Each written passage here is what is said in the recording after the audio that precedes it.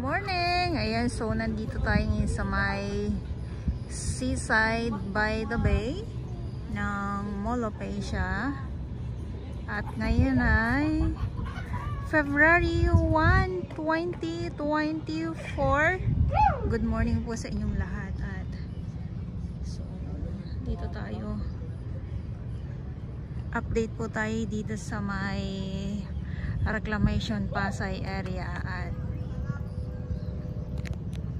may panibagong dating na barko na magbubuhos ng buhangin. At ito yung view naman po. Oh, yung mga ibon no? ayan naman po yung Lime Hotel. At papunta ng uh, seaside sa may, sa may kabila po. Yun at sa Dolomite Sand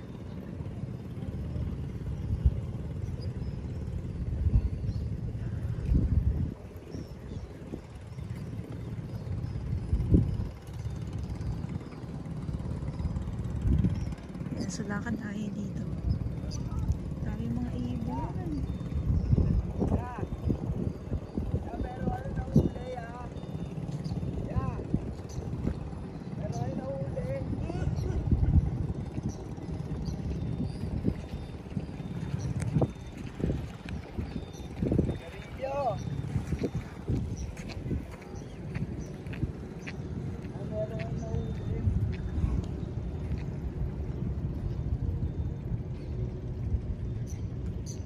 So may papadating dito mismo sa may harap.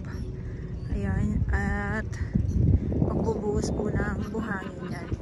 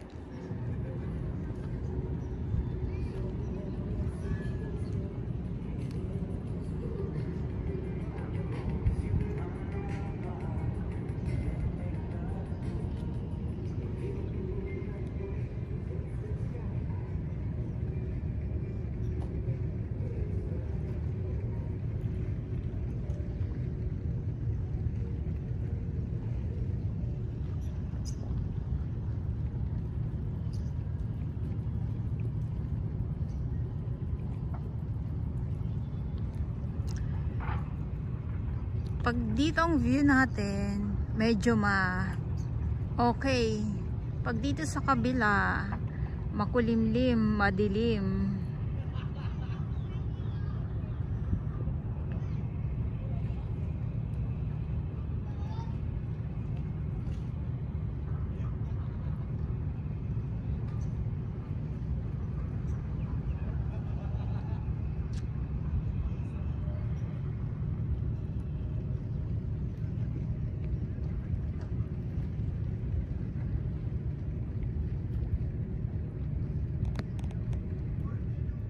So ito na yung panibagong isang barge na may daladalang sangkatutak na buhangin. And so dito po yan sa may reclamation Pasay area at ito nga yung update natin at halos nagdugtong na itong buhangin na malapit mismo dito sa may seawall. So wala, napakabilis napakabilis ng trabaho at hindi talaga tinatantanan itong pagbubuhos ng buhangin dito.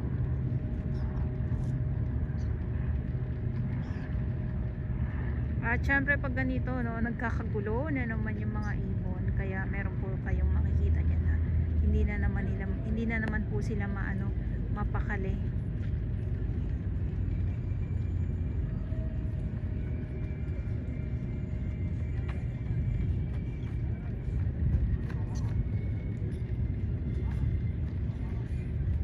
dito pala to sa kabila magbubuhos. Hindi dito sa mismo dito sa harap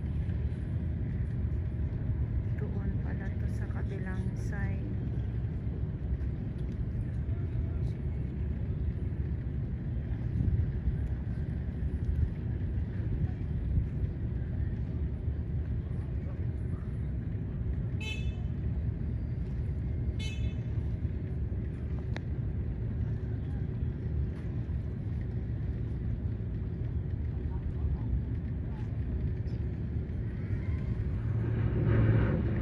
Ayun, so sabi ko nga, hindi siya dito magbubuhos mismo sa may malapit dito sa seawall, no? Medyo malayo-layo po ito. So siguro dyan yan sa may kabila kasi iba yung iba yung ano niya iba yung pag-ikot Ay, okay so dyan pala siya pupwesto ayan o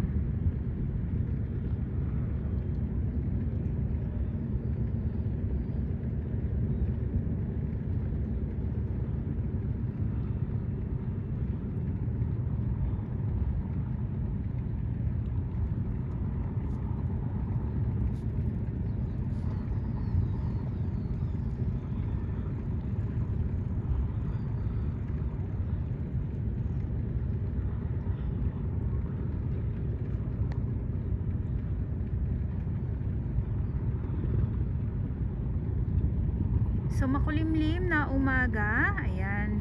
Magandang umaga po sa inyong lahat at Reclamation Pasay area po ang update natin at ngayon ay February 1, 2024 So antayin po natin itong barge na ito na kararating lang po na magbubuhos muli ng buhangin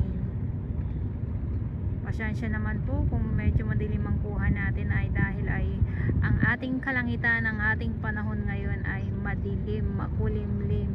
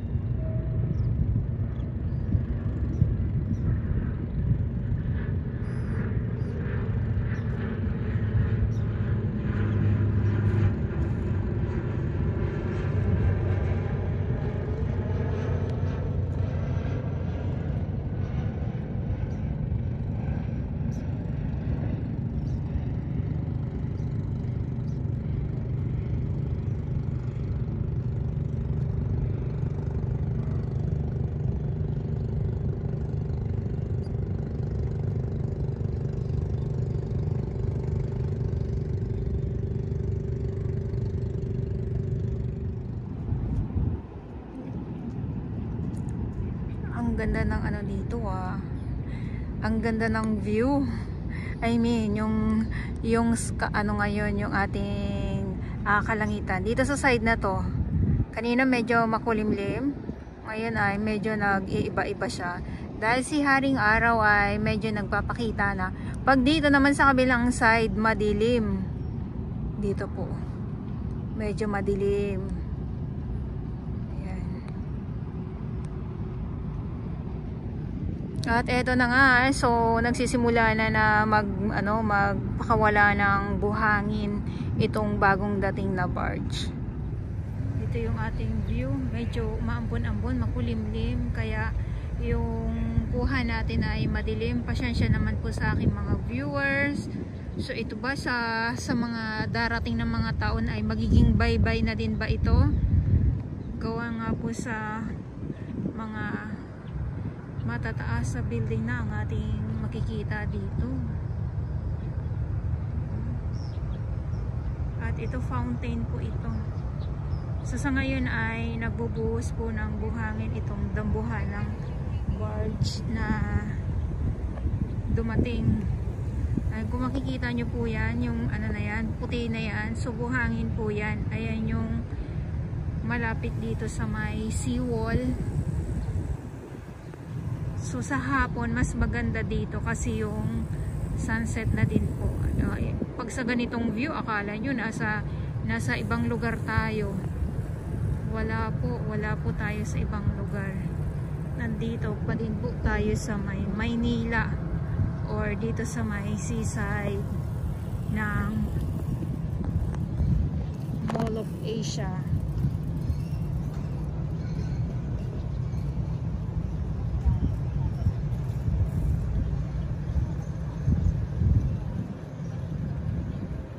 Ayan. Ito muna yung view. Ikot ko lang po kayo para naman po may para naman po may idea po kayo. Dito tayo sa kabilang side.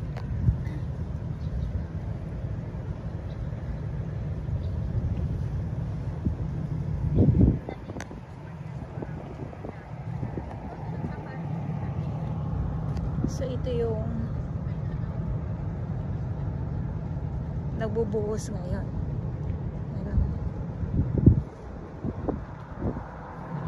Yan, ito yung nagbubuhos ngayon. Yan, medyo malayo, malayo po. Sabi ko nga eh, hindi dito siya mismo sa malapit nagpakawala ng buhangin, kundi dito sa kabila. I-zoom ko lang po yung ating camera.